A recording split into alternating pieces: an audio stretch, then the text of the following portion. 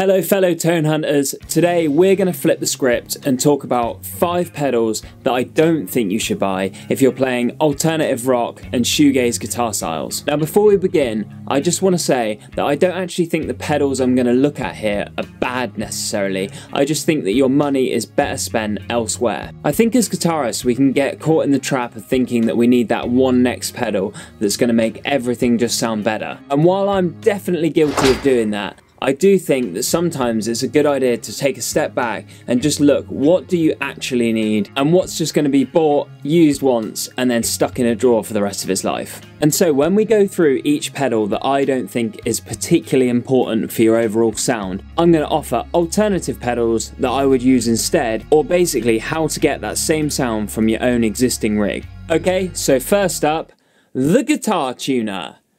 No, I'm sorry, I'm only joking. But seriously, why is the most important pedal so boring? Anyway, now we've got that terrific joke out of the way, let's go on to our first actual pedal that I don't think you should buy. And that's going to be a compressor pedal, just like this one here. Now, don't get me wrong, I know that compression can be really good for leveling out sounds and stuff, but I think as a pedal, as a standalone pedal, do you really need that thing in your board? In my opinion, in all of the scenarios I can think of, live, recording, and even like band practicing and playing at home, I can't think of a time that a compressor pedal on a guitar would be absolutely essential. I think for recording, with DAWs being so accessible now, if you wanted a guitar sound that was super squashed, I think you could just add it in post. Even just like with the stock Logic or GarageBand compressors, I think they do a really good job of that. And then in a live situation, if you're playing through a PA system, the live engineer out the front's probably going to deal with all the compression and stuff, so you don't even need to worry about that. And if you're using any form of distortion, the distortion's going to compress the signal anyway, so do you really need that to be compressed more? However, I think people may push back on this a little bit and say there is some scenarios where it could be useful. For instance, the song Lazy Eye by Silversun Pickups definitely has a ridiculously long sustaining lead, and some of the Smashing Pumpkins stuff does too. But I do think you'd get pretty far with just using your fuzz pedal and a chorus and just cranking up that sustain on the fuzz pedal so it gives you loads of sustain anyway.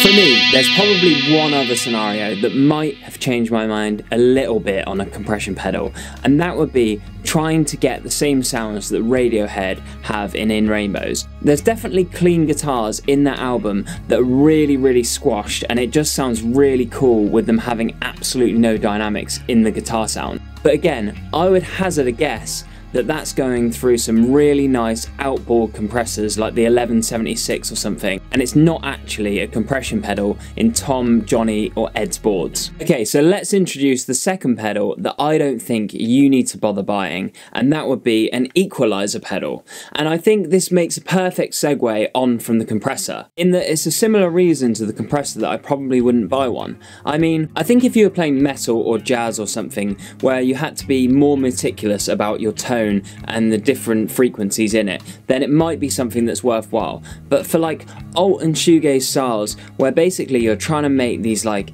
massive sonic landscapes, I think you're far better off spending more time dialing in your amp or your pedals, or even the tone on your guitar, than spending money on something like this. And likewise with the compressor, if you're playing live, your engineer is going to sweep through all the frequencies that sound really gnarly out front, and if you're recording guitar, you can just whip those horrible frequencies out in post-production. I'd also like to push back on myself a little bit and say that when you put on certain pedals, like for instance the Big Muff, it obviously scoops the mids a lot. So maybe you could have an EQ pedal like this that came on simultaneously and just boosted some of those mids a little bit. But yeah, I think on the whole, you probably don't need to be buying an EQ pedal. Just really look at dialing in the tone of those pedals and your amp settings as well.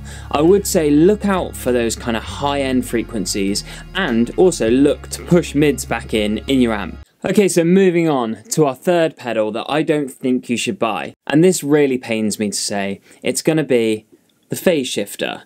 Here we've got the Boss one, and we've also got the Small Stone. Now I know that some of my favourite records of all time have had phase shifters all over them, but my reason for saying that I don't think I would buy it is purely because I think it's one of those effects pedals that so obviously screams, I'm a phase shifter, that for 2023 I think it's really hard to get away with getting that in your music. To me, other things that sit in the same bracket are like flanger pedals and wah pedals. I think they just sound really dated. Like I know there's probably way better guitarists than me that can make these things sound cool, but whenever I put them on, it just instantly dates my music and I find it really hard to look past that. I think if you're looking for a modulation pedal to do something similar, but maybe in a more modern way, I would go with a chorus because I think although they are from that era and they can sound dated on certain records and certain styles, I think if you're playing the right chords and stuff, you can make chorus pedals still sound really cool even to this day. I mean, look at bands like Turnstile who are adding chorus sounds into hardcore punk. I mean, it just sounds so cool. And actually, as I mentioned in this video here, I personally don't even think you necessarily need a chorus pedal. I think you can get something similar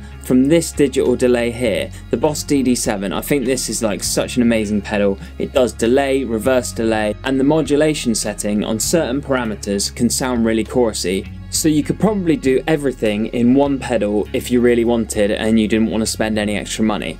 But I mean, I do find it hard to get away from how amazing this thing sounds. Anyway, should we have a quick listen to the difference between the chorus and the phaser? And maybe you'll also hear how modern this sounds compared to how dated the phaser sounds. I don't know, maybe I'm wrong, but that's how I feel about it.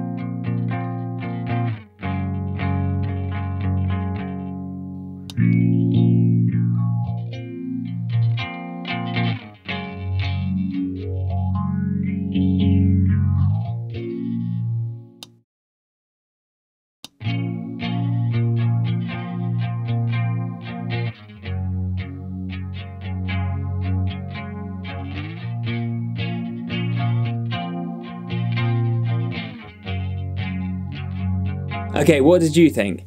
I still think that this sounds a lot more modern than this, and that's why I'd definitely buy the chorus over the phaser if I didn't already have that pedal. Okay, so moving on to number four of the five pedals that I wouldn't bother buying, and it is the feedback booster. Now this thing is a bit of a weird one because I would have thought like 100% why does anyone need a feedback booster? But I did actually plug it in recently and it sounded pretty cool. Like we got some really cool feedback sounds going into choruses and stuff. And I think in a live situation you probably could use it or like in band practice and stuff. Say if you were practicing really quietly or something and you're struggling to get feedback but I think if you were practicing quietly why would you really need feedback anyway? Like, it doesn't really make a whole lot of sense. But I think with the style of guitar that we're kind of looking at playing here, we're playing with Jazzmasters, Jaguars, kind of single coil, which just naturally pick up like loads of feedback, especially with cranked amps or really turned up fuzz and distortion pedals that we're often using. I mean, have you ever stood next to an amp with a Jaguar or a Jazzmaster? It just doesn't want to shut up. Now I'm not sure how much this thing's actually worth, so let's have a look and see how much you'll save. Boss Feedbacker Booster. 250 quid? 605 pound? What? Maybe this thing's better than I thought it was. Anyway, I definitely avoid that if you can, unless you have any niche needs for feedback that you just can't get it from your amp for some reason. Okay, so we're nearly there. This is the fifth and final pedal that I wouldn't bother buying if you want to play alt rock kind of shoegazy indie guitar. And this one is actually really painful to say as well. It's the tremolo.